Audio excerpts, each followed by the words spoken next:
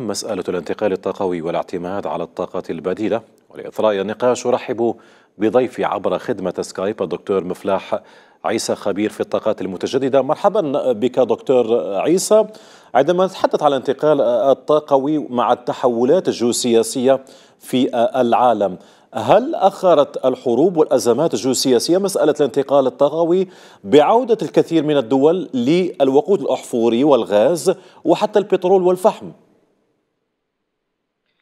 بسم الله الرحمن الرحيم مساء الخير سيدي الكريم. اذا فعلا السؤال هو لماذا التوجه نحو الانتقال الطاقوي؟ يعني وخاصة في الجزائر. الكل لا يعلم أن الجزائر تمتلك امكانيات هائله في الطاقات المتجدده والتي تتمثل في الطاقة الشمسية، طاقة الرياح، طاقة الجيوحراريه إلى آخره، فمثلا تمتلك الجزائر واحد من أكبر الحقول الشمسية في العالم. حيث أن مدة الاشعاع الشمسي هي كبيرة جدا مقارنة بالدول الأوروبية. ولذلك يعني آه هذا أول سبب يجعل الانتقال الطاقوي أو نحو الطاقات المتجددة هو ضرورة حتمية. على عكس الدول الأوروبية التي لا تمتلك امكانيات مماثلة لكنها الآن تعتمد على الطاقات المتجددة لتلبية نسبة كبيرة من احتياجاتها. هذا يقودنا يعني للحديث عن التحديات. أيضا من أسباب الانتقال الطاقوي والذي يفرض حتميته حاليا هو التحديات الاقتصادية. حيث نبدأ مثلا بذكر نضوب الاحتياطات من الوقود الأحفوري حيث تمتلك الجزائر احتياطات كبيرة كالغاز الطبيعي والنفط لكنها ليست غير محدودة ومن المتوقع أن تنضب هذه الاحتياطات خلال العقود القادمة مما سيؤدي إلى نقص الطاقة وارتفاع الأسعار. إضافة إلى اعتماد كبير على صادرات الطاقة لا. كمصدر رئيسي للصادرات. للصادرات في وصل وصل في نفس الفكرة أستاذ عندما نتحدث عن نعم. دكتور نتحدث عن مسألة الانتقال الطاقوي ندرك أن الجزائر لها مكانة كبيرة في مسألة الانتقال الطاقوي هناك إمكانيات كبيرة من طاقة الرياح إلى الطاقة الشمسية مسألة الانتقال الطاقوي ألا تعتقد أنها ستكون أسهل بالنسبة للدول التي تمتلك هذه الإمكانيات في الفترة المقبلة؟ فعلا صحيح. يعني هنا يعني هنا لماذا حددت يعني منظمة الاوبك يعني من الانتقال الطاقوي والاعتماد يعني على بديل أو سلوك مسلك واحد في الانتقال الطاقوي وهذا يعني يرجع إلى عدة أسباب. أولها التنوع في احتياجات الدول حيث تختلف احتياجات الدول في مجال الطاقة بشكل كبير. يعني اعتماد على عوامل مثل الحجم السكاني بحيث أن الدول ذات الكثافة السكانية العالية لديها احتياجات أكبر من الطاقة مقارنة بالدول ذات الكثافة السكانية المنخفضه وأيضا المستوى الاقتصادي. حيث أن الدول ذات الاقتصادات المتقدمه لديها احتياجات أكبر من الطاقة مقارنة بالدول ذات الاقتصادات النامية. وأيضا لا. هنا أيضا هناك التكلفة. حيث نوع التقنية المستخدمة في تقنيات الطاقه المتجدده هي أكثر تكلفة ويجب التحكم في التكنولوجيا. نعم. إضافة إلى عوامل الموقع الجغرافي وأيضا حجم المشروع وبالتالي ترى منظمة أوبك أن أفضل طريقة للانتقال إلى الطاقة المتجددة هو اتباع نهج شامل يأخذ في الاعتبار احتياجات الدول الفردية وتكاليف تقنيات الطاقة المتجددة وحتى أيضا المخاطر المرتبطة بها والتقنيات الناشئة. وهناك يعني العديد من الطرق للانتقال إلى الطاقة المتجددة في بعض الدول طبعا. من أهمها زيادة استخدام مصادر الطاقة المتجددة في توليد الكهرباء نعم. تحسين كفاءة الطاقة في جميع القطاعات وأيضا تغيير أنماط استهلاك الطاقة. وبالتالي هنا فان الانتقال إلى الطاقة المتجددة يجب أن يكون انتقال سلس طبعا بطبيعة الحال مدروس لأنه يتطلب نهج متعدد الأوجه. أستاذ مفلاح ربما في نفس السياق كيف يكون هذا الانتقال السلس ما هي الآليات ربما أو المناخ الملائم لهذا الانتقال السلس بما أن هذا الملف أخذ أبعاد أخرى بالنسبة للنقاشات للدول والاقتصاديات الكبرى في العالم. فعلا صحيح. يعني هناك يعني من أجل تحقيق انتقال طاقوي يعني هذا انتقال طاقوي سلس يعني هنا تأتي يعني دور الغاز الطبيعي في الانتقال الطاقوي حيث يجمع كل الخبراء والمختصين على أن استعمال الغاز حاليا يعني هو يعتبر القاطرة الأساسية من أجل تحقيق الانتقال الطاقوي يعني من نحو الطاقات المتجددة إلى من نحو عفوا الطاقات الاحفوريه إلى الطاقات المتجددة. نعم. وهذا لعدة أسباب. يعني الغاز الطبيعي اولا هو يشكل مصدر الطاقة الرئيسي يعني خاصة في الجزائر بنسبة 65% نعم. في حين يمثل النفط فقط 35% إضافة إلى معلومة مهمة يعني هو الغاز الطبيعي هو المصدر الأساسي لإنتاج الكهرباء. بما يعادل 99% هذا أيضا يسهل عملية الانتقال الطاقوي نحو الطاقات المتجددة. نعم. أيضا هناك نقطة هي أهم لماذا يعني يعتبر دور دور الغاز الطبيعي الانتقال الطاقوي مهم؟ وهو تأثيره المحدود على البيئة نتيجة ضعف انبعاثاته من الكربون مقارنة مع الطاقات الأحفورية الأخرى حيث يفرض الغاز الطبيعي نفسه كأحد نعم. أنظف موارد المحروقات وهو بالتالي الأقل تلويثا. مما يؤهله أن نعم. يلعب دور حي في سياق الانتقال الطاقوي العالمي نحو الطاقات نعم. النظيفة هو هل هل سيكون الفاعل الأساسي في الانتقال الطاقوي هناك من يؤكد أنه الغاز سيكون له دور أكبر في الفترة المقبلة إن أرادت الدول وبحثت عن انتقال طاقوي سلس رغم آه، ما ما أفرزته الحرب الأوكرانية وكذلك آه، مسألة العقوبات على الغاز الروسي الكل الان يبحث آه، عن الوقود الأحفوري. لا زال هناك دور للوقود الأحفوري. لا زال هناك دور مثلا للفحم للطاقة النووية. ألا تعتقد أن الغاز سيلعب هذا الدور في العشرين والثلاثين سنة المقبلة؟ فعلا يعني سيلعب دور كبير جدا في السنوات المقبلة خاصة من من هنا يعني إلى سنة 2040 حيث سيزداد الإنتاج سيزداد سيزداد الطلب على الغاز إلى نحو 26% في 2050 وتقدر يعني حصة الغاز الطبيعي حاليا بما يزيد قليلا عن 23% من المزيج الطاقوي العالمي. وبالتالي يجب استغلال فرصة التزايد على طلب الغاز في المرحلة المقبلة أو في 20 سنة المقبلة. في العشرين سنة المقبلة أستاذ مفلاح دائما آه، في نفس السياق وقمة الغاز آه، ستأخذ حيز بالنسبة لملف الانتقال الطاقوي كذلك.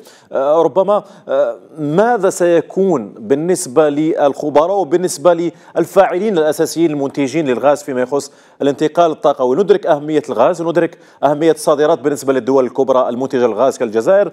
ربما ما هي السياقات التي سيتحدث عنها الخبراء وكبار المنتجي الغاز الطبيعي في قمة منتدى الغاز بالجزائر؟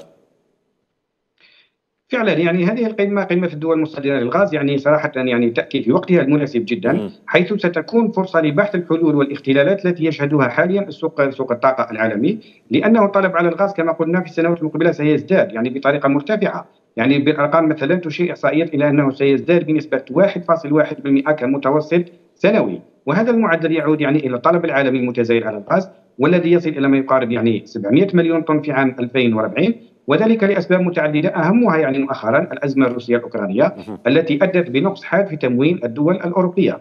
من جهة أخرى الدول الأوروبية هنا تحضر إلى ما بعد سنة 2035 يعني تحضر إلى السعي نحو البحث عن بديل للغاز من خلال الاعتماد على الطاقات المتجدده كبدائل للطاقات الاحفوريه وبالتالي هذه القمه هي يعني فرصة للتخطيط والتناسق لوضع استراتيجية في السنوات المقبلة يعني من أجل البقاء في السوق نعم. العالميه وهنا نأتي يعني لدور الجزائر. دور الجزائر يعني أكيد سيكون دور مهم وفعال في السوق الطاقوي العالمي بالنظر لموقعها الاستراتيجي الذي جعلها ممولا هاما لأوروبا بالإضافة إلى امكانيه آه، جعلها مستقبلا رابط بين إفريقيا وأوروبا. في تصدير الغاز الافريقي عن طريق مشروع انابيب الغاز العابره للصحراء المنطلق يعني مثلا من من نيجيريا أيضا إضافة إلى اكتشافات الغاز مؤخرا في كل من موريتانيا والسنغال وموزمبيق وهذه ستعطي يعني إفريقيا قوة أكبر لتعزيز صادراتها مستقبلا. وهنا يعني هناك دول أخرى مثلا مثل مثل قطر والجزائر ونيجيريا التي تشكل حل سحري آه، لمشكلة أزمة آه، نعم. نقص الغاز أو طلب الغاز في أوروبا. وهنا يعني الجزائر يعني يجب أن يعني أن تلعب دورا مهما في آه، يعني تداخل والتنسيق بشكل عمل منسق نعم. لعقد صفقات يعني وليس لعقد صفقات يعني بشكل فردي وإنما عقد صفقات اجتماعية آه، وربط مشترك لتغطية النقص وأيضا تلبية احتياجات سوق الطاقة العالمي. أستاذ مفلاح عيسى في نفس السياق آه، نتحدث الآن عن مسألة مهمة وهي أن الحروب والأزمات الجيوسياسية ربما أخرت مسألة الانتقال الطاقوي. هل نتفق مع هذا الطرح؟ بما أن هناك العديد من الدول وجدت نفسها محاطة وتبحث عن عن أسعار للغاز في السوق الحرة وفي السوق السوداء كبديل للغاز الروسي. ألا تعتقد أنه الحرب الأوكرانية والأزمة في اليمن مثلا والأزمات والمفتعلة هنا وهناك ستؤخر مسألة الانتقال الطاقوي وستعود بالدول الأوروبية الكبرى والاقتصاديات الكبرى إلى الوقود الأحفوري الكلاسيكي. الفحم عاد بقوة في الفترة الأخيرة.